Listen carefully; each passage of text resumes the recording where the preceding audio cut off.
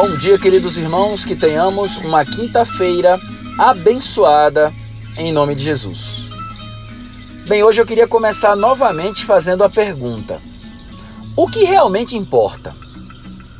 Ora, se Deus nos amou dessa forma, se Ele incondicionalmente nos ama e nos recebe, independente do que sejamos ou do que tenhamos feito, Deus espera que nós possamos viver isso e expressar isso para os nossos irmãos. 1 João, capítulo 3, versículo 16 diz assim: Nisto conhecemos o amor, que Cristo deu sua vida por nós e devemos dar nossa vida pelos irmãos. Você tem experiência de dar sua vida pelos irmãos?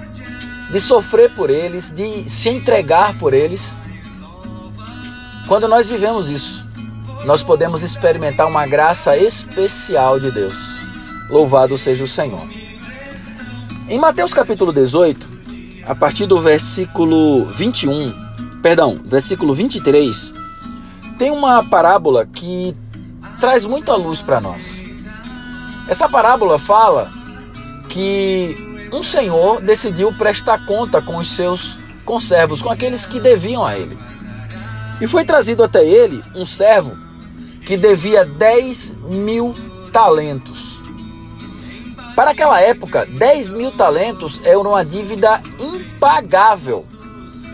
A título de hoje, para você ter uma ideia, esse, essa quantia soma em torno de 5 bilhões de dólares.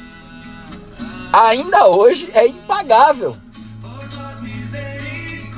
Mas essa pessoa, ela se humilhou diante do Senhor e pediu misericórdia ao Senhor. E essa parábola registra que, que o Senhor, ele sentiu compaixão desse servo e o perdoou.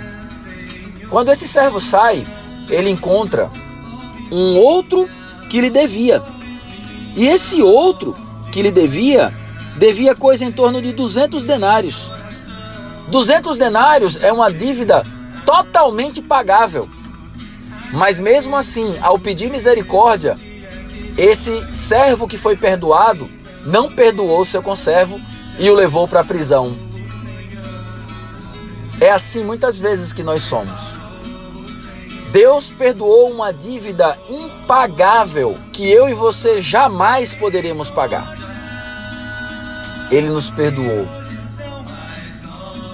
E hoje, às vezes, por coisas tão pequenas, nós somos capazes de gerar ódio, mágoa em nosso coração.